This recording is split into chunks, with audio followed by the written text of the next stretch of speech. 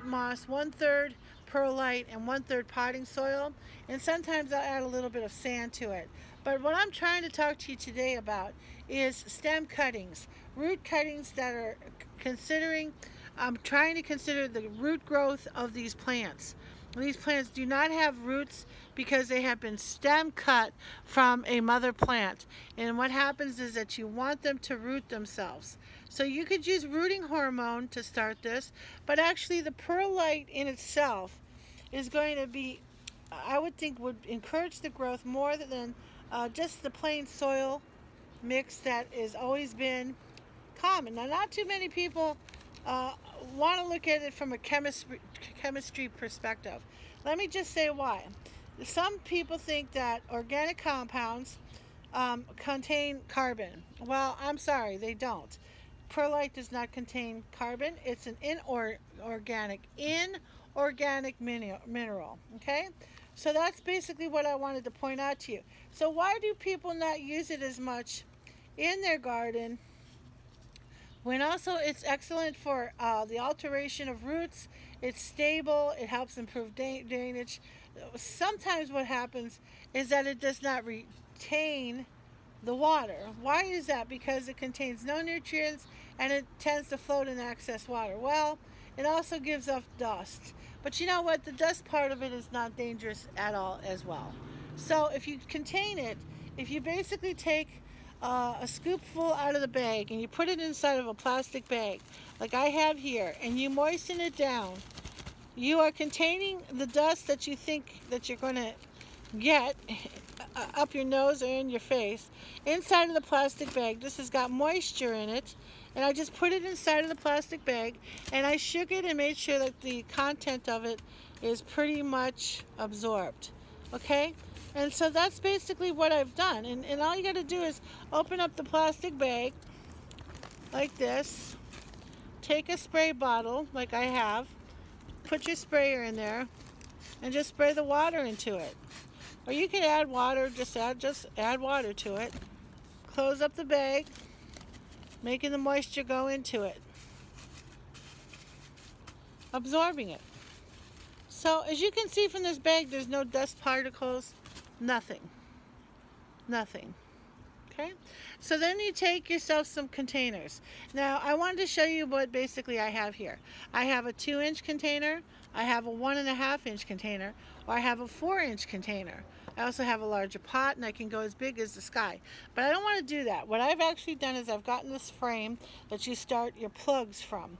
And I basically have taken one side of this tray and I'm doing a study on how well the perlite by itself is going to grow the stem roots of my succulent cuttings. And I also have done the other side with the alternation of potting soil and perlite mixed together.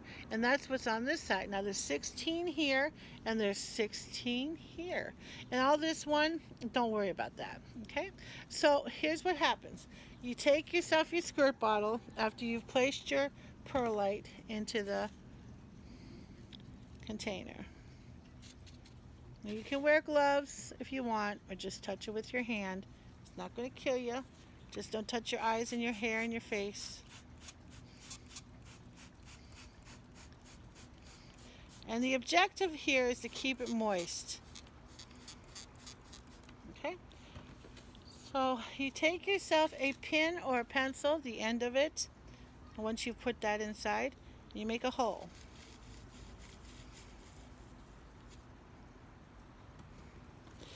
And then you get yourself some cuttings.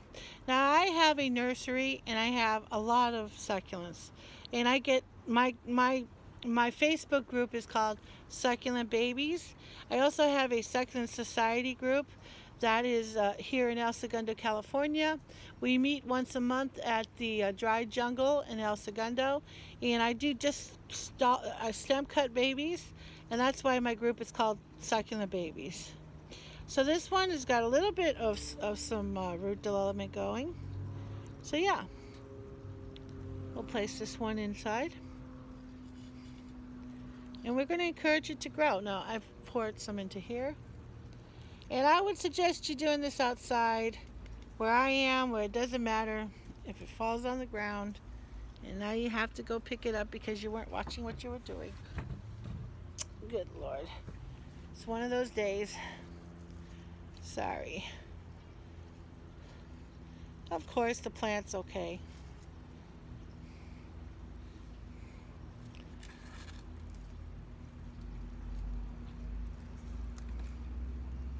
There we go. So we're going to come back and look and check, make sure that the stem root of this one is doing well. It's a little bit top heavy because it's a longer piece. Okay. So I have many kinds. I have sedums. This is also sedum, sedums. I have echeverias, aeoniums. Wow, this is beautiful. You can see she's got a little tiny root right there. Okay, she's lost the leaf.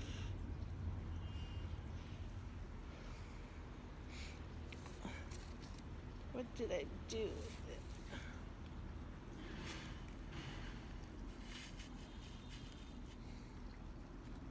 I just sit out here and I just plant them up as much as I can.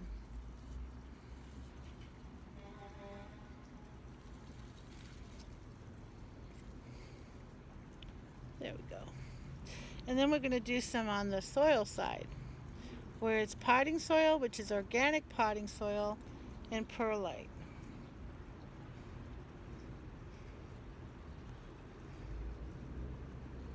I have a whole tray to go. Okay guys, I hope this worked well for you. So perlite, making sure you keep it moist, keep it watered, and in indirect sun not full sun. Have a great day. Please subscribe to my channel. Thumbs up. And join my succulent babies on Facebook and my Instagram. Thank you.